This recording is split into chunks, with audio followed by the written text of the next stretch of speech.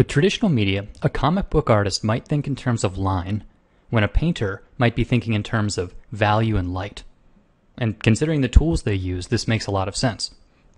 But with Photoshop, you have the ability to drift between lines and value. So in the last video I showed how to approach drawing this frog in line, and today I'm going to show how I'd approach doing the same sketch, starting completely in value, no lines at all.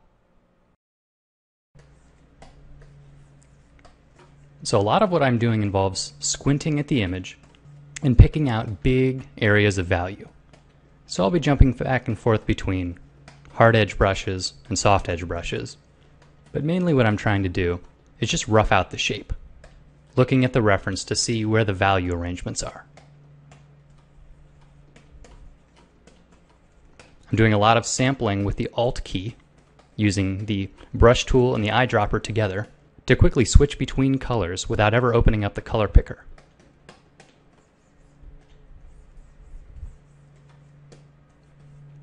So it's hard to give a set of steps to follow with this. It's pretty intuitive. It's mainly a case of looking at the reference and blocking in areas of light and dark.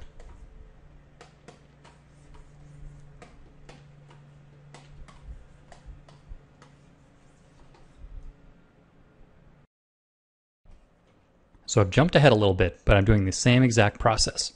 Switching between hard and soft brushes, and just refining these shapes.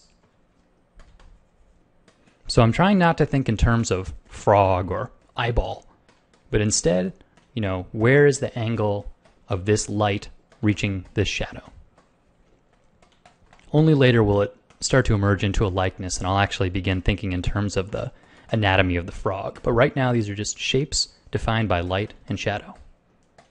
And you can do the same thing in color, but I think that it eliminates one variable to do this sort of exercise in black and white first.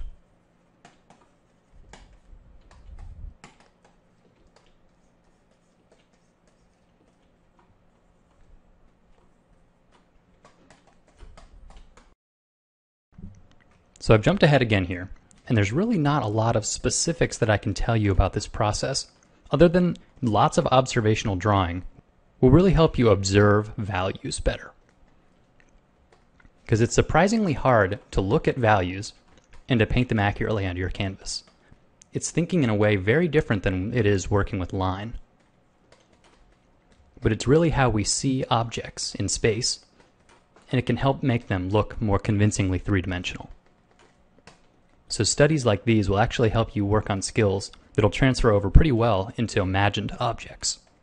So when you're drawing that sci-fi monster or dragon, you can remember how the light fell across these actual forms, and it'll help you with your value relationships.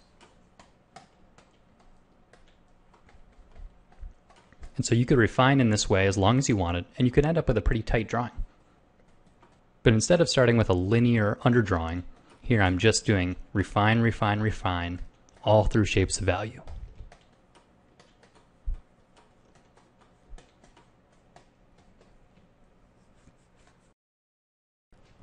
And once you've gotten to a certain point of clarity, it's time to start zooming in. And again, just like the linear approach, I'll usually open two document windows at this point. So here I can zoom into my reference, into my image independently, even though it's the same document open twice. So having established the major areas of value, I can now go in and refine the little details. Again, not good to jump to these too early, but once you've established it to a point where you're happy, then you can zoom in and start working with smaller brushes and more slowly. Again, the same process from large and fast to small and slow. It's a very safe way to work.